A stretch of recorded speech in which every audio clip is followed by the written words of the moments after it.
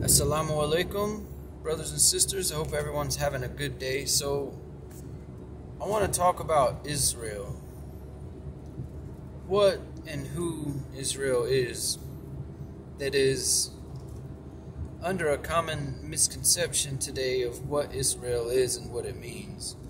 So, if you talk to a lot of people in America, they'll tell you um, the Hebrew Israelites is they, they are a race, a particular race. Um, you hear people in America say that the state of Israel in the Middle East is the chosen holy land, and that the people that are in that state are the chosen holy people.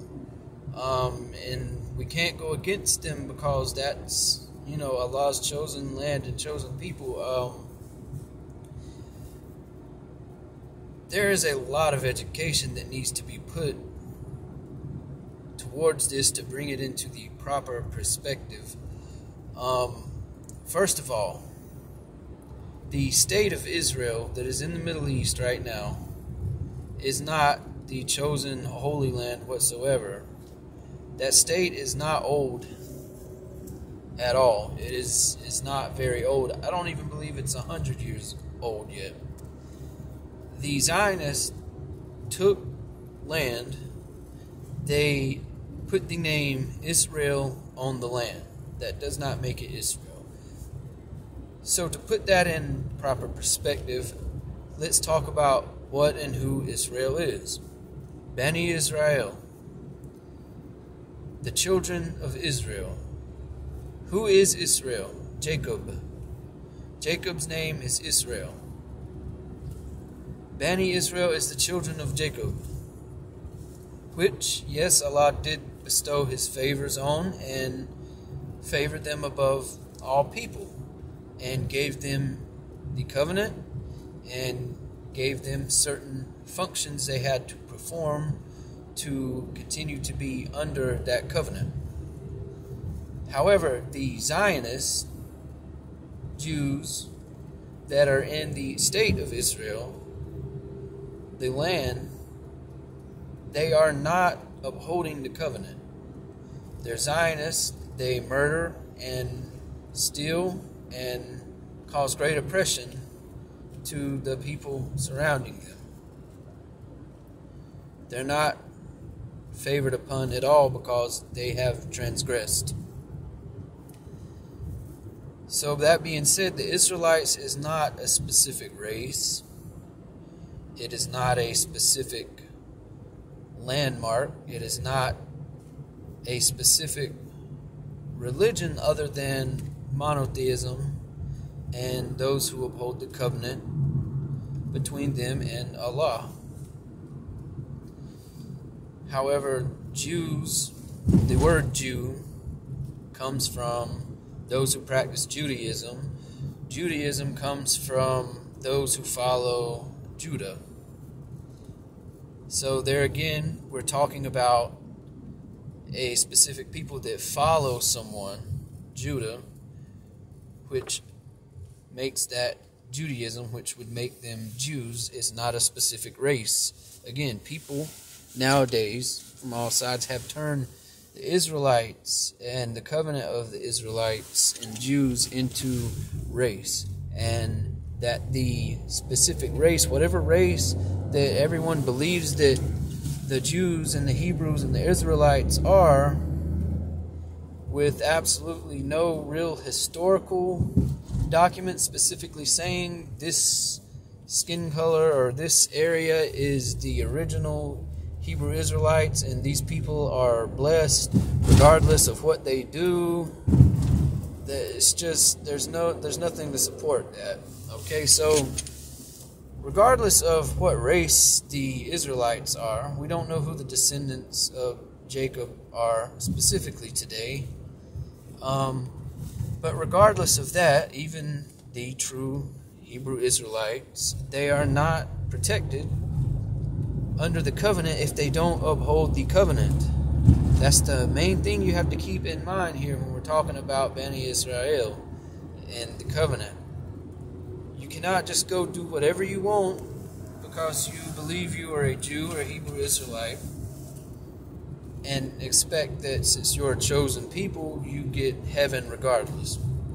That is absolutely insane and contradictory to the Torah, the Gospel, and the Quran. So, with that being said, the Zionist Israel uh, Israelite state over there now, who are murdering innocent Palestinians, they don't fit into the covenant of Israel anywhere. I mean, who are they?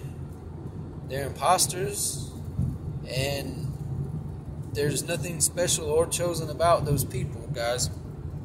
We need to be educated on subjects of biblical matter and religious matter when we decide to teach or we decide to spread words or whatever.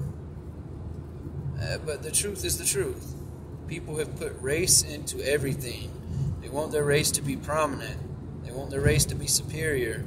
And even people who are not necessarily from the specific race they believe to be the chosen people, they will still support it too for who knows what reasons. But the main thing is, with the clear guidance of the Quran, we can understand what Israel is and what it is not, and that they are not chosen as to being so special they can do or commit whatever they want to, that they have to uphold the covenant.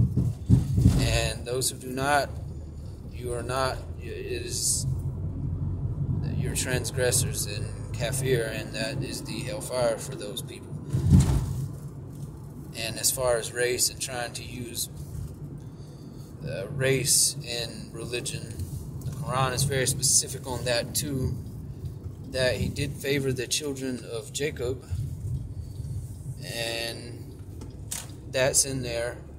But it's also in there that he created the race is different only so that we can get to know each other. Nah, and that uh, no one race has any superiority to the other. That is in the Quran. So let's get educated, people, on what it is and what's what, and uh, let's that because someone is a particular race and from a particular land, that it does not make them special. It really does not.